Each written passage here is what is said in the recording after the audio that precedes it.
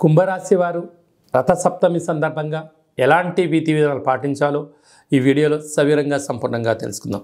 కుంభరాశిలో ఏ నక్షత్రాలు వస్తాయనగా ధనిష్టా నక్షత్రంలోని మూడో పాదం నాలుగో పాదం శతవిష నక్షత్రంలో నాలుగు పాదాలు పూర్వాభాద్ర నక్షత్రంలోని ఒకటి రెండు మూడు పాదములు కలిపితే కుంభరాశి. కుంభరాశి యొక్క అధిపతి శరచర స్వామి వీరికి ఒకవైపు ఏళ్ళనాటి శని సంచార స్థితి కూడా జరుగుతున్న విషయం తెలిసినటువంటివే. అందులో మధ్యమ సంచార స్థితి కూడా జరగడం. అదే కాకుండా చాలామందికి పుట్టినటువంటి కాల సమయంలో డేటా బర్త్లు లేనటువంటి కారణం చేత పేరు యొక్క మొదటి అక్షరాన్ని అనుసరిస్తూ ఆ రాశిని తెలుసుకుని ప్రయత్నం చేద్దాం. గు గే గో సా సి సు సే సో ద అక్షరాల వరద కుంభరాశి జాతకులే.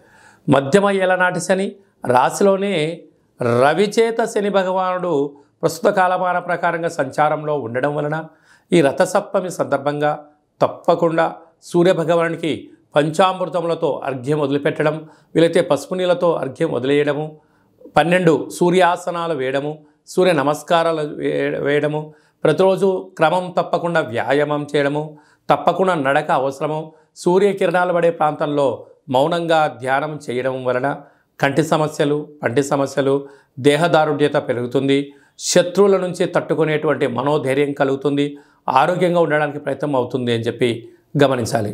రాశిలోనే ఏడాది తర్వాత రవి భగవానుడు సంచారం చేయడం వలన దూర వాయు జల ప్రయాణాలు చేసేటప్పుడు తొందరపాటు నిర్ణయాలకు సరైన సమయం కాదు.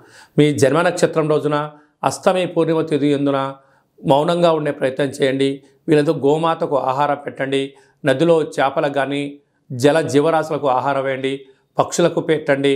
మీరు ప్రతిరోజు క్రమం తప్పకుండా భోజనం చేసేటప్పుడు అన్నము పప్పు చారు పెరుగును కలుపుకొని ఒక ముద్ద కుక్క భగవానుడికి మరో ముద్ద కాకి భగవానుడికి మీరు పెట్టగలిగినట్లయితే కర్మ దానం అవ్వడం వలన శనిదోష నివారణ తగ్గుతుందని చెప్పి గమనించాలి.